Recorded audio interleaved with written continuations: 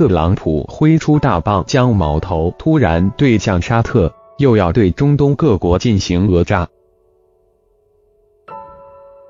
随着美英法悍然发动对叙利亚精确打击，中东局势陡然升级，美俄等国在中东更是剑拔弩张。随着美国伊核协议延长日期在十二日结束临近，美国驻以色列使馆搬迁日期的到来，中东局势更加复杂和危险。而刚刚特朗普对中东携友沙特挥出大棒，到底寓意何为？让我们细细分析。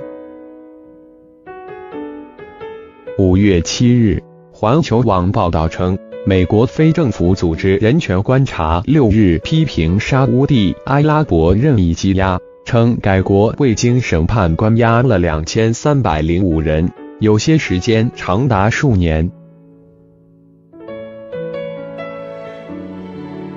人权观察组织分析称，沙乌地阿拉伯内政部的官方数据显示，有两千三百零五人未经法院审判，已遭政府关押逾六个月。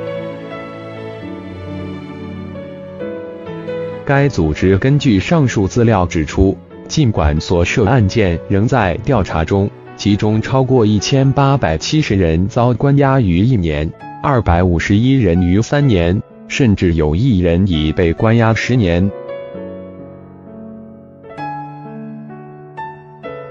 该非政府组织称，这是证据确凿的任意羁押。不难看出，美国这是又拿人权组织说事，而棒杀的却是自己盟友沙特。此前，美国打住人权组织的旗号。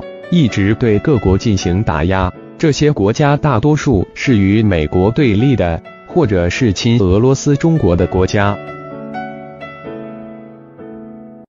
例如，此前的人权报告将菲律宾、缅甸、中国等作为攻击对象，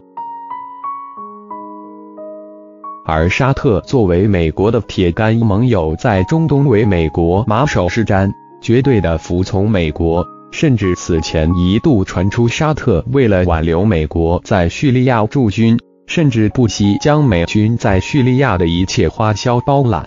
这样的盟友，美国怎么会对其进行打击？这无疑让各国大跌眼镜。难道美国疯了？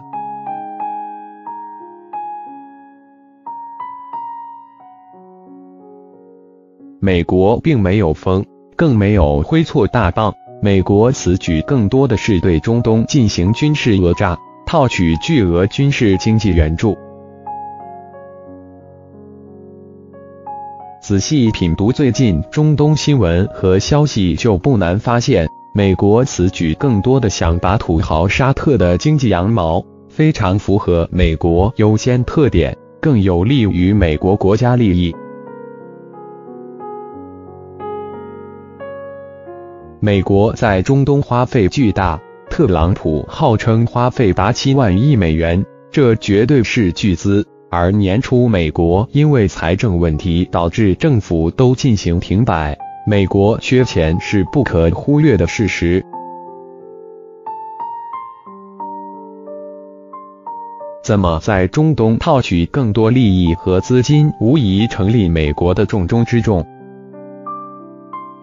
随着对叙利亚发起打击，美国显然不想退出中东，而军事行动又要花费巨资，美国此举无疑是在向中东要钱。沙特非常土豪，拿其开刀正合适。美国现在在中东不断搞事，又是使馆搬迁，又是撕伊核协议，还鼓动以色列对伊朗动武。航母更是在中东对叙利亚虎视眈眈，无疑是想将中东搅浑，将战争引爆。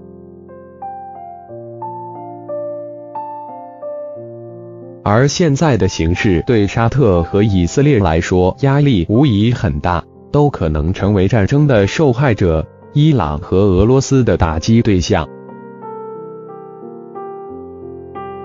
如果一旦战争发生，美国是唯一能有效遏制和掌控局面的国家，各国有求于美国才会大笔的掏出巨资给美国，而美国军火也会大挣一笔。不难看出，随着中东局势的恶化，以色列、沙特、土耳其、伊拉克等国都可能将成为美国拔羊毛的对象。各国为了保持不被军事打击，都要购买大量军事装备，甚至还要为美国在中东的军事行动买单。美国可以不花一分钱就能完成战斗资金的积累，甚至还能大挣一笔。尤其是以色列、沙特，无疑成了美军最大的赞助商，想不掏腰包都不可能。而美国此举无疑将给俄罗斯造成很大压力，毕竟美国军事讹诈将给美国带来资金上的援助。美军不必为军费开支而担忧，就如在零三年伊拉克战争一样。盟友为其战争买单，在中东对叙利亚动手将很可能发生。反观俄罗斯，只有伊朗一个盟友，还被美国和以色列、沙特视为仇敌。伊朗和俄罗斯经济本来就不景气，军事开支将恶化其经济发展。美国此举无疑将伊朗和俄罗斯在军事和经济上都逼入了绝境。